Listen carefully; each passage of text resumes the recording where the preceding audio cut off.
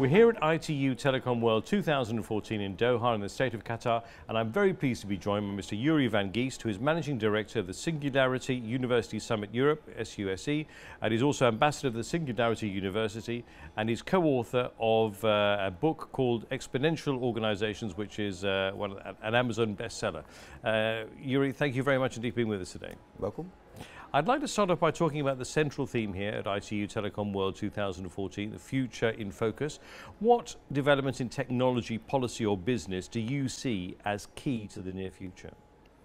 Yeah, so basically there's a lot of change coming our way and the pace of change is accelerating. Uh, we look at biotech, nanotech, neurotech, AI, uh, deep learning, robotics, drones, sensors, solar energy, 3D printing, 4D printing, all these fields are doubling in capacity, let's say every 18 months, sometimes quicker, sometimes slower. So all these fields are bec will become more mainstream in the next five to 10 years. This is a very disruptive force. We haven't seen this before. It's not, not uh, an era of change, it's a change of era. That means a lot of stuff that we've learned in the last 100 years will be disrupted in terms of law, policy, organizational models, business models, even strategies. So it's a very interesting time to be in telecom we're talking about here singularity.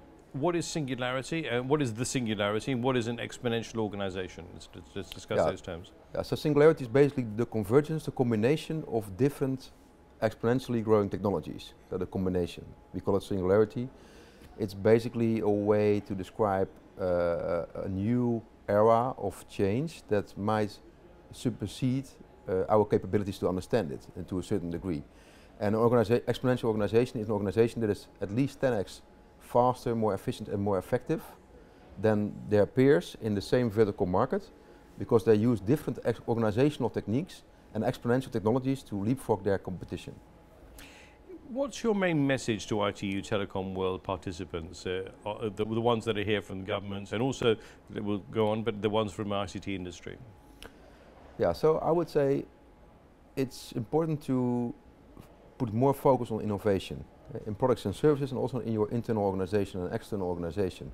You need to do more experiments. Uh, uh, we say that, we call it create an exponential organization on the edges of your current business. If you innovate in the core of your business, it won't fly because of internal politics. The immune system of the current business will create antibodies and you, you will kill your innovation.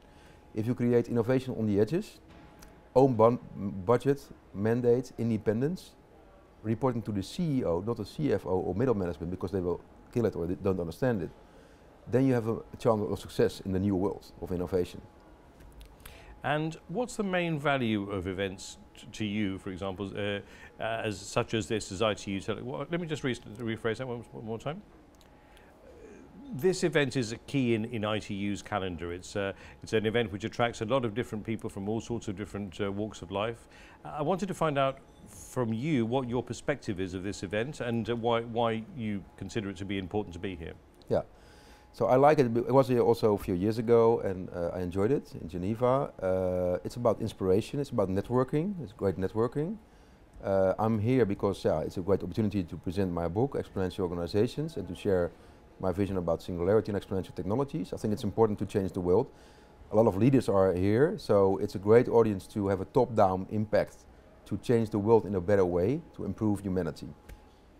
And finally, a question that I've been asking everybody here, I know we, we caught up yesterday, but I would like to ask you in this context, what single technological development do you think will have the biggest impact in the next five to 10 years? Yeah, so basically all of those I mentioned before, but if I have to prioritize, I would focus on uh, on short term, let's say today, it's sensors, Internet of Things, and quantified self, eh, so mHealth.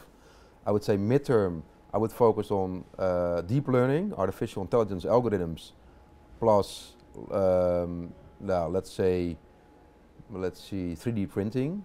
And then longer term, five to 10 years, I would say nanotechnology, graphene. There's a lot of stuff happening there. It's very exci exciting. Bitcoin, especially the, the blockchain. Uh, so it's the, the protocol behind Bitcoin, it will be very important long term, and also biotechnology. Yuri Van Geest, thank you very much indeed for being with us today, and we hope to catch up with you again in the future. Same here. Thanks, thanks so much. Lovely. Great. Thank you.